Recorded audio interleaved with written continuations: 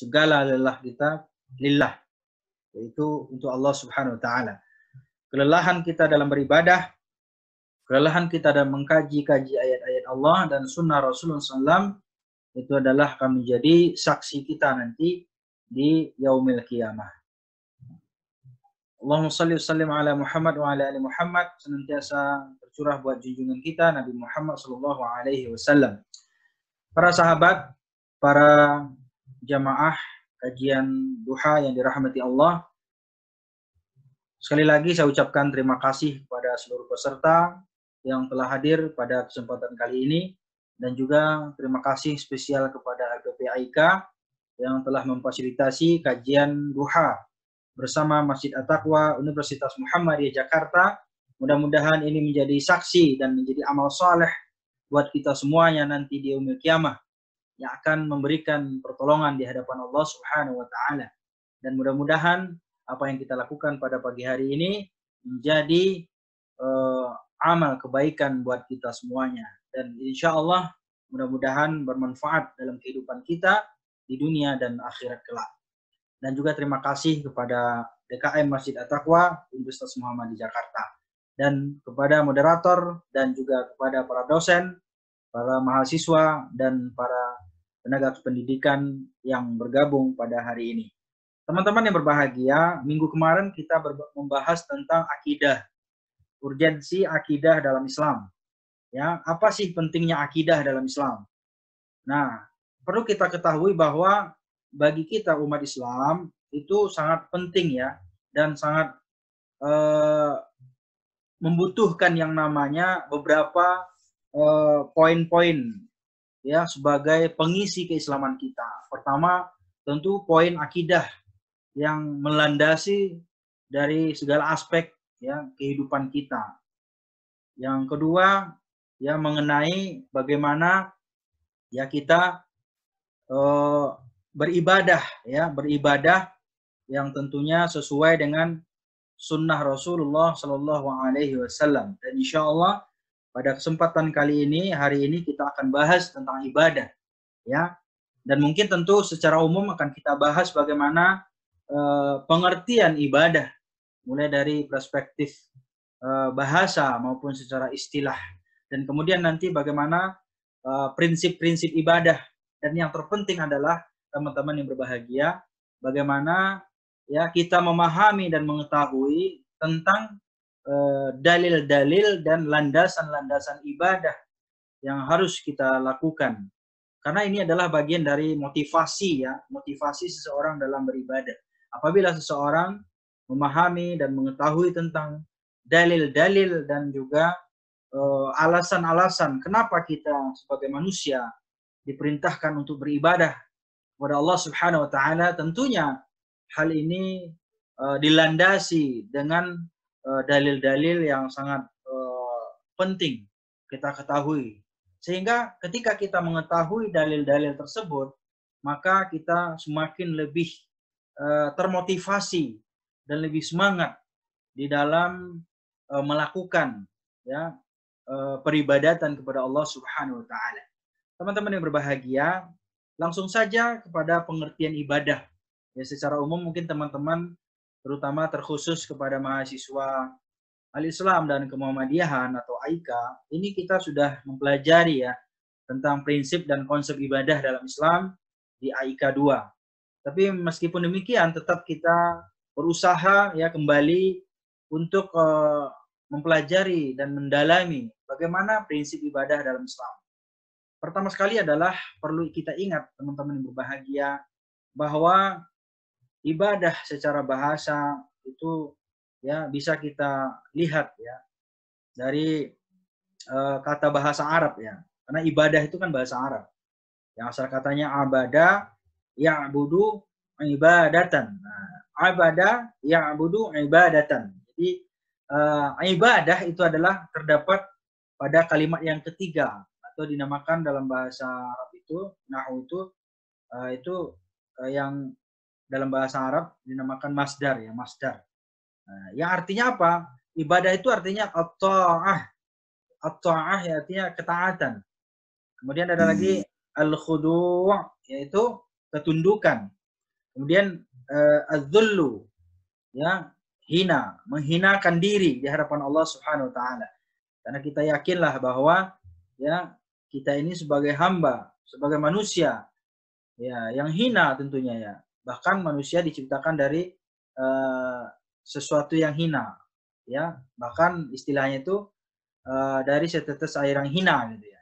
Nah, ini karena kita sadari bahwa manusia atau sebagai hamba kita adalah makhluk yang hina, makhluk yang rendah di hadapan Allah sang pencipta gitu ya maka itulah pentingnya kita beribadah kepada Allah kemudian atanasuk ya atanasuk itu adalah pengabdian jadi ini adalah beberapa pengertian ibadah apabila kita tinjau dari segi bahasa nah sedangkan ya beberapa uh, pengertian yang lain dapat dilihat gitu ya uh, di sini dikatakan uh, oleh Ibnu Faris ya bahwa kata abdun itu mempunyai pengertian eh, yang bertolak belakang. Kata abdun bertolak belakang itu maksudnya apa? Ya, yaitu sesuatu yang yang dimiliki hamba sahaya. Nah, berarti karena eh, tentu karena kita hamba berarti ya sesuatu yang menguasai hamba itu siapa? Berarti kan majikan gitu. Karena kita adalah sebagai manusia, sebagai hamba, berarti yang menguasai kita, yang menguasai diri kita adalah Allah Ta'ala. Allah Subhanahu wa Ta'ala. Dan yang kedua adalah memiliki tumbuh, tumbuhan yang memiliki aroma yang harum. Nah, ini kebalikan dari tadi ya, kebalikan dari uh, makna hamba tadi. Yang ketiga adalah anak panah yang lebar dan pendek. Nah, ini mungkin pengertian-pengertian yang mungkin diambil dari uh, pendapat Ibnu Faris ya. Nah, kita langsung saja teman-teman yang berbahagia, para jamaah Zumer yang dirahmati dan dicintai Allah, uh, yang perlu kita cermati adalah di sini bagaimana kita memahami ya, memahami uh, ibadah dalam konteks ya, konteks uh, istilahan yang difahami di dalam uh, perspektif Muhammadiyah. Nah, teman-teman mungkin pernah dengar ya definisi ini atau mungkin sudah hafal. Barangkali bagaimana pandangan ya atau perspektif Muhammadiyah tentang uh, definisi atau konsep ibadah di dalam Islam. Sebagaimana yang dikatakan ya at-taqarrub ya. Makna ibadah itu akad at-taqarrub ya. Pendekatan ya. Atau mendekatkan diri ya ilallah kepada Allah Subhanahu wa taala bimtisali awamirihi dengan yang melaksanakan segala apa-apa yang telah diperintahkan oleh Allah Subhanahu wa taala wajitinabi nawahihi dan kemudian menjauhkan segala apa-apa yang telah dilarang oleh Allah Subhanahu wa taala. Kemudian wal amali bima adzina bihi syari'i. Dan kemudian ya mengamalkan melakukan suatu amalan apa saja yang telah diizinkan atau apa-apa yang dikehendaki oleh Allah Subhanahu wa taala ya tentunya apa-apa yang dikehendaki itu ya segala sesuatu ibadah yang telah diperintahkan oleh Allah Subhanahu wa taala. Jadi teman-teman yang berbahagia, bahwasanya makna ibadah ya itu adalah dalam konteks ya dalam rangka pendekatan diri seorang hamba kepada Allah Subhanahu wa taala. Pendekatan diri seorang manusia terhadap Robnya yaitu Allah Subhanahu wa taala. Maka dalam rangka ya pendekatan itu dengan segala upaya dan upa, upaya, daya dan upaya e, melakukan segala apa-apa yang telah diperintahkan oleh Allah Subhanahu wa taala kepada hamba-hambanya dan juga meninggalkan segala apa-apa yang telah dilarang oleh Allah Subhanahu wa taala. Dan ingatlah menjalankan suatu peribadatan, menjalankan suatu amalan ya harus dilandasi kepada syariat ya kepada syariat yang telah ditetapkan oleh Allah Subhanahu wa taala dalam Al-Qur'an dan sunnah Rasulullah sallallahu alaihi wasallam. Para sahabat, para jamaah Zumer yang berbahagia. Kemudian ada lagi definisi menurut ulama fikih ya. Ya, dikatakan bahwasanya ibadah ya yaitu ma'uddiyat ibtigha'an liwajhillah wa talaban wa talaban li sawabihi fil akhirah. Nah, menurut ibadah menurut ulama fikih ya yaitu adalah apa saja yang dikerjakan untuk mendapatkan keridhaan Allah Subhanahu wa taala. Apa saja yang dilakukan dikerjakan untuk mendapatkan ya keridhaan Allah Subhanahu wa taala ya di akhirat mengharapkan pahala di sisi Allah di akhirat kelak nanti maka ini dikatakan dikatakan adalah ibadah. Jadi inilah teman-teman berbahagia. Jadi antara perspektif pemahaman definisi ibadah menurut Muhammadiyah dan juga ulama fikih itu tidak uh, memiliki perbedaan yang sangat signifikan, perbedaan yang signifikan. Jadi intinya adalah sama-sama menjalankan perintah Allah Subhanahu wa taala dalam rangka apa? Dalam rangka mengharapkan keridhaan Allah Subhanahu wa taala. Jadi inilah pentingnya bagi kita, bagi kaum muslimin, bagi umat Islam.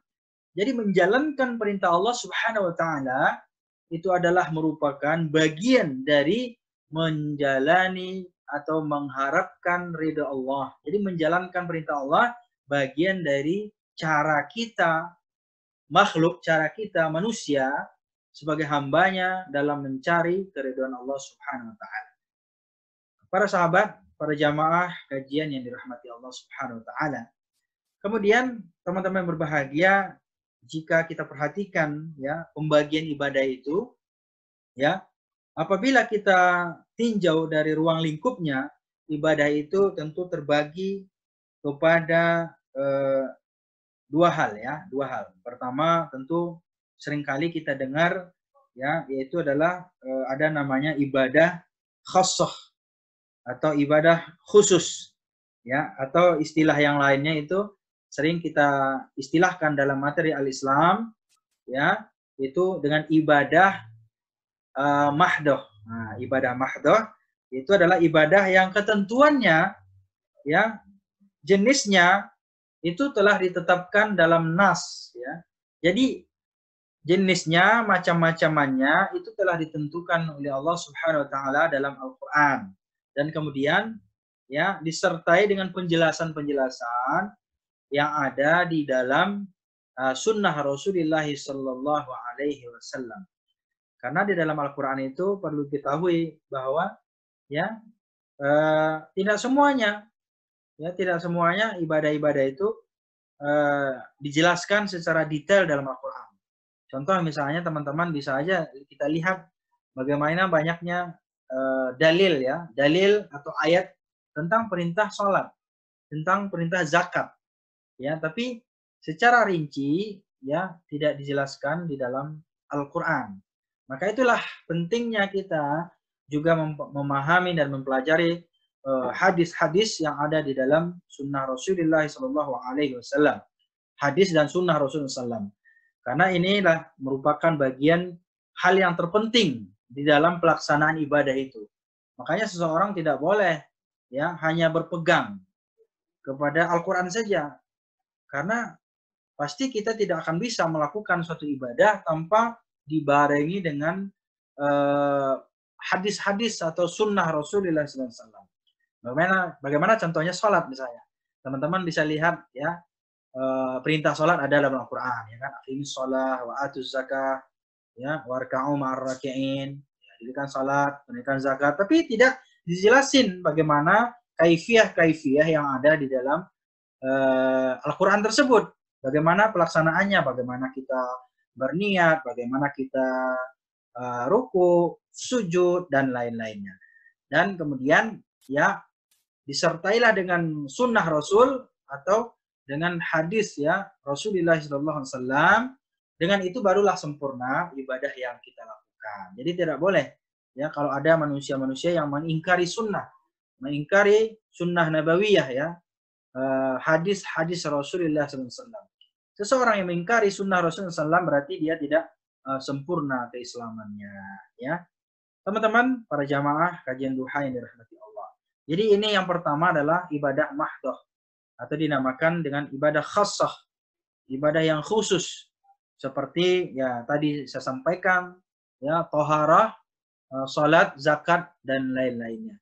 Inilah bagian terpenting ya yang perlu kita ingat bahwa ibadah mahdoh adalah ibadah yang ketentuannya jenisnya dan tata caranya telah ditentukan oleh Allah dan juga Rasulullah sallallahu alaihi wasallam. Para jamaah, para sahabat, para peserta kajian yang, yang dirahmati Allah. Yang kedua, yaitu adalah ibadah ammah atau ibadah yang umum atau disebut juga dengan ibadah ghairu mahdoh. Yaitu ibadah yang bersifat ya semua perbuatan-perbuatan yang baik tentunya perbuatan yang diridhoi Allah SWT yang disertai dengan niat ya niat karena Allah Subhanahu wa taala maka ini dinamakan ibadah ghairu mahdoh. Jadi tapi ketentuannya ya hanya ketentuannya berdasarkan pertama baik, yang kedua ada niat untuk mencapai ridha Allah. Maka itu juga bisa dinamakan ibadah. Tapi ya tentunya ibadah yang bersifat ghairu mahda. Dan tentu ketentuannya ya diserahkan kepada kita. Boleh manusia berperan di situ ya dan boleh manusia bertanya kenapa ini kenapa ini begini dan mengapa ini ada alasan dan bisa kita jawab secara ya secara logis tapi kalau ibadah mahdoh tidak ada lagi pertanyaan-pertanyaan kenapa begini kenapa sholat subuh itu dua rakaat ya kan dikit amat gitu ya kemudian zuhur kenapa empat asar empat maghrib kenapa kok ganjil sendiri gitu ya ini bukanlah sebuah pertanyaan yang harus kita lontarkan ketika kita berbicara tentang konsep ibadah yang mahdoh. Jadi mahdoh itu konsepnya adalah sami'na wa ata'na. Jadi ya kita dengar, kita ketahui ya kita lakukan, kita amalkan. Jadi tidak ada yang namanya pertanyaan-pertanyaan lagi. Jadi tidak perlu akal di situ ya berperan. Tidak perlu peran akal di situ. Tapi yang perlu adalah keimanan kita. Sementara ghairu mahdoh yang umum itu nah, di situ boleh berperan akal. Seperti apa misalnya? Ya, seperti contoh dakwah, ya kan? Ma'ruf nahi mungkar, kemudian menuntut ilmu, bekerja, berkreasi, belajar, mengajar. Ya, semuanya apabila kita niatkan karena Allah, maka itu akan dinilai sebagai uh, ibadah di sisi Allah Subhanahu wa taala. Dan itu apakah kita boleh ya uh, mengelaborasi, mengeksplor ya, explore gitu ya uh, uh, cara-caranya secara logis gitu ya kita perdebatkan boleh-boleh saja. Dan itu sangat berkembang gitu ya. Nah, sangat berkembang. Berkembang sesuai dengan uh, perkembangan zaman dan masanya.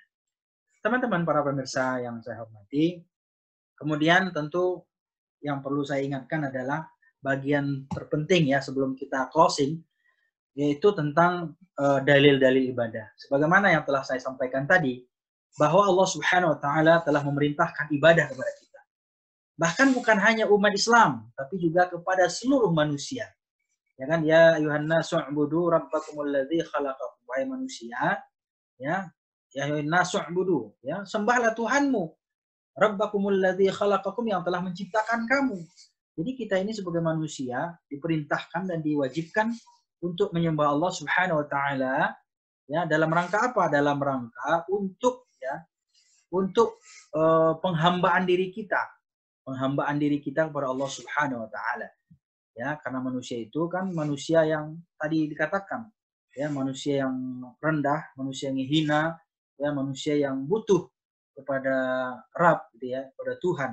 Maka oleh karena itu, karena kita manusia, wajib kita menyembah Allah Subhanahu wa taala, menyembah Tuhan yang telah menjadikan kita dan juga sebagaimana yang telah uh, apa namanya Eh, menjadikan eh, orang-orang yang sebelum kita. Jadi para umat-umat terdahulu telah melakukan ya pengabdian kepada Allah gitu ya. Ya, pada umat-umat terdahulu, pada zaman-zaman nabi-nabi terdahulu, pada zaman rasul-rasul terdahulu, mereka semua adalah menyembah Allah Subhanahu wa taala. Jadi apabila seseorang yang beriman telah mengakui Allah Subhanahu wa taala sebagai Tuhan, kemudian dia menyembah ya, melakukan peribadatan sesuai dengan syariat syariatnya Ya, kalau kita karena umat Nabi Muhammad ya tentu kita melakukan peribadatan peribadatan sesuai dengan umat Nabi Muhammad Shallallahu Alaihi Wasallam. Kemudian ayat yang lain mengatakan Inna hadhihi ummatukum ummatan wahidatan wa ana rabbukum fa'budun. Sesungguhnya ya, agama ini adalah agama tauhid nah, dan agama yang yang kamu semuanya agama orang-orang yang dulu-dulu juga gitu ya agama yang satu ya. Dan akulah kata Allah, Tuhan yang Esa itu. Tuhan yang Esa yang Maha Pencipta dan pemelihara gitu ya. Dan oleh karena itu karena Allah yang mencipta, Allah yang memelihara, maka kita diwajibkan untuk menyembah dan mengabdi kepada Allah Subhanahu wa taala sebagai bukti kita bahwa kita adalah hambanya. Para teman-teman, para pemirsa yang berbahagia. Inilah ya beberapa dalil ya tentang pentingnya kita beribadah ya. Beribadah kepada Allah Subhanahu wa taala. Kemudian teman-teman berbahagia, ada lagi dalil yang lain ya bahwasanya ya Allah Subhanahu wa taala adalah sebagai pencipta. Walillahi ma fis samawati wa ma fil ard. Wa ila Allahi turja'ul umur. Kepunyaanlah Allah, kepunyaan Allah lah yang ada di langit dan di bumi dan kemudian hanya kepada Allah Subhanahu wa taala lah kita akan dikembalikan atau segala urusan dikembalikan. Jadi ini bagian dari pentingnya kita beribadah ya karena Allah lah yang menguasai langit dan bumi ya kan dan segala apa yang terjadi di muka bumi ini akan kembali kepada Allah. Segala perkara dan kejadian segala bahkan termasuk juga diri kita manusia ini ya sebagai hambanya juga akan dikembalikan kepada Allah Subhanahu wa taala. Jadi ya tidak ada alasan bagi kita untuk tidak menyembah Allah. Tidak ada alasan bagi kita untuk mengingkari Allah Subhanahu wa taala. Apalagi kita melihat ya betapa banyaknya nikmat yang telah diberikan oleh Allah Subhanahu wa taala uh, kepada kita. Jadi pantaslah kita ya membalas segala nikmat Allah meskipun pada hakikatnya tidak pernah kita mampu, tidak akan mampu kita untuk membalas nikmat Allah, tapi paling tidak kita buktikanlah bahwa kita sebagai hamba Allah, kemudian kita beribadah dan mengabdi hanya kepada Allah Subhanahu wa taala. Qul inna salati wa nusuki wa mahyaya wa mamati lillahi rabbil alamin. Dan katakanlah sesungguhnya salatku, ibadahku, hidupku dan matiku hanya kepada Allah, hanya untuk Allah ya Rabbul Alamin, Tuhan sekalian alam. Jadi hidup dan mati kita, ibadah kita semuanya hanya untuk Allah Subhanahu wa taala. Jadi penting kita ketahui di dalam beribadah ya semuanya hanya kita serahkan, kita persembahkan kepada Allah Subhanahu wa taala, bukan untuk yang lain. Jadi beribadah bukan untuk calon mertua, untuk bukan calon istri, biar dibilang keren, bilang alim, bilang saleh, soleha, tidak bukan untuk calon suami, tapi kita beribadah semua adalah untuk Allah Subhanahu wa taala. Kita beribadah bukan dilihat oleh pimpinan, bukan dilihat supaya kelihatan saleh gitu ya, kelihatan sebagai uh, apa namanya? Uh, orang yang dekat dengan Allah gitu ya. Bukan karena itu, tapi kita beribadah hanya karena Allah Subhanahu wa taala. Dan yang terakhir, dalil tentang pentingnya kita beribadah, wa ma khalaqul jinna wal insa illa liya'budun. Dan tidaklah dijadikan jin dan manusia kecuali untuk mengabdi kepada Allah. Jadi pengabdian. Jadi semua yang kita lakukan di dalam dunia ini semua adalah dalam konteks pengabdian kepada Allah. Jadi meskipun kita melakukan perbuatan-perbuatan dunia, tapi kalau kita niatkan karena Allah, lillah, maka dia akan bernilai ibadah di sisi Allah Subhanahu wa taala. Teman-teman yang berbahagia, yang terakhir perlu saya sampaikan adalah prinsip-prinsip ibadah. Ingat, di sini ya teman-teman dan juga bagi teman-teman yang sudah mengikuti perkuliahan al-Islam pasti telah mengetahui ada lima prinsip ibadah ya dan ini menjadi uh, prinsip ya.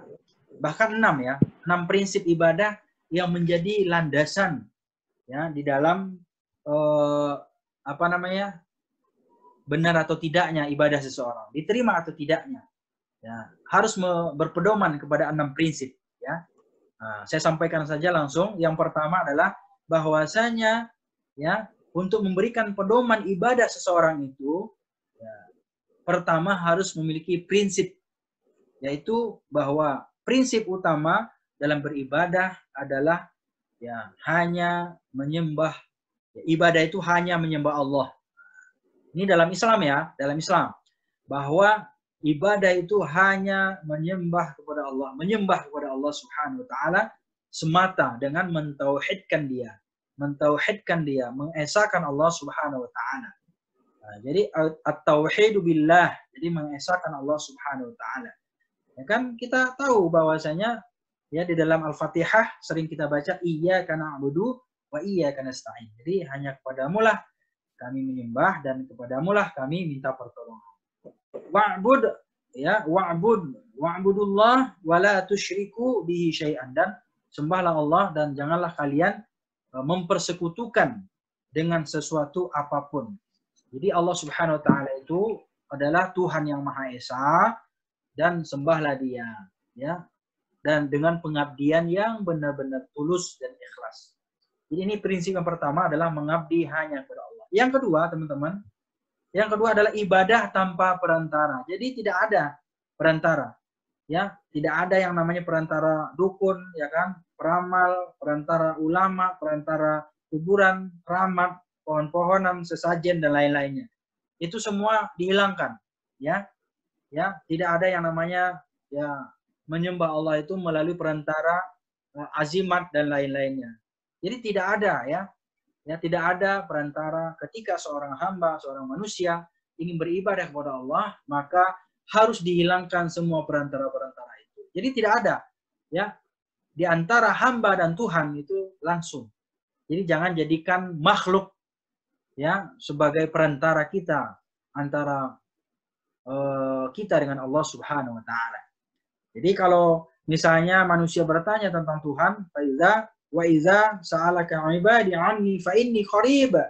Jadi kalau ada manusia yang bertanya, hamba bertanya tentang manusia tentang Allah, ya, maka katakanlah kepada manusia ini, ya kan? Katakanlah kepada manusia itu bahwa sesungguhnya kata Allah fa inni qarib. Jadi saya itu dekat. Jadi tidak ada namanya perantara-perantara ya uh, makhluk atau sesembahan lain ya untuk menghubungkan kepada Allah Subhanahu wa taala. Ini yang kedua, yang ketiga teman-teman, ibadah harus dilakukan dengan ikhlas. Ya wa ma umiru illa liya'budullaha mukhlishina lahuddin Dan tidaklah mereka diperintahkan kecuali hanya untuk beribadah kepada Allah dengan memurnikan ketaatannya kepada Allah. Artinya apa? Ikhlas. Jadi ikhlas itu kan adalah bagian dari syarat diterimanya ibadah gitu. Kalau kita nggak ikhlas ya bisa nggak terima ibadah kita. Percuma gitu ya. Percuma gitu ibadah kita kalau kita tidak lakukan dengan ikhlas karena Allah. Kemudian inna Allah la yuqbalu minal amali illa ma kana lahu khalisan wa batigha wa bataghi wa batighi wa bihi wajhuhu.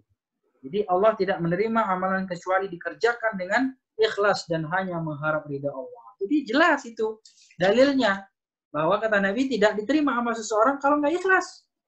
Jadi oleh karena itu hati-hatilah kita dengan niat kita. Jangan sampai ibadah kita ya uh, salah niatnya sehingga ibadah kita tidak diterima oleh Allah Subhanahu wa taala. Yang keempat teman-teman, ibadah harus sesuai dengan tuntunan. Ya, tuntunan sesuai dengan perintahnya sesuai dengan dalil-dalilnya, dengan sunnah-sunnahnya. Ya, kata Nabi, "Man ahdasa fi amrina hadza ma laisa fihi fa Nah, siapa yang mengadakan sesuatu perkara ya, yang melakukan ibadah tapi tidak sesuai dengan tuntunan kami kata Nabi, ya, maka ibadah itu akan ditolak. Jadi tidak boleh mengada-ngada dalam ibadah. Ibadah itu harus sesuai dengan tuntunan, sesuai dengan dalil-dalilnya dalil perintah Al-Quran dan sunnah Rasulullah Sallallahu Alaihi Wasallam. Sallu kama ra'aitumuni usolli. Dan sholatlah kalian sebagaimana kalian melihat aku sholat. Kalau nggak bisa lihat Nabi sholat, karena kita bukan zaman Nabi, ya berarti lihatlah hadis-hadisnya gitu ya. Nah, lihatlah penjelasan-penjelasan para ulama. Dan yang kelima, seimbang dan unsur jasmani antara unsur jasmani dan rohani. Ya, jadi tidak hanya beribadah tok kepada Allah, kemudian melupakan bagian kita di dunia. Dan atau dunia-dunia dunia saja tapi lupa beribadah kepada Allah. Nah, wa bataghi fima atakallah darul akhirah. Wa tansa nasibaka minad dunia dan carilah apa yang Allah berikan padamu berupa kebahagiaan negeri akhirat, namun jangan lupa bagian kita di dunia. Karena kita masih hidup di dunia. Dan terakhir teman-teman, ya yaitu bahwa ibadah prinsipnya mudah dan meringankan. Jadi tidak berat. La yukallifullahu nafsan illa usaha. Jadi Allah itu tidak membebani hambanya ya, tidak membebani manusia kecuali apa-apa yang telah yang diberikan kesanggupan kepada manusia itu. Wa ma ja'ala 'alaikum fid dain min haraj ya dan tidaklah Allah Subhanahu taala menjadikan agama ini bagimu uh, beban ya. Jadi agama ini bukan beban.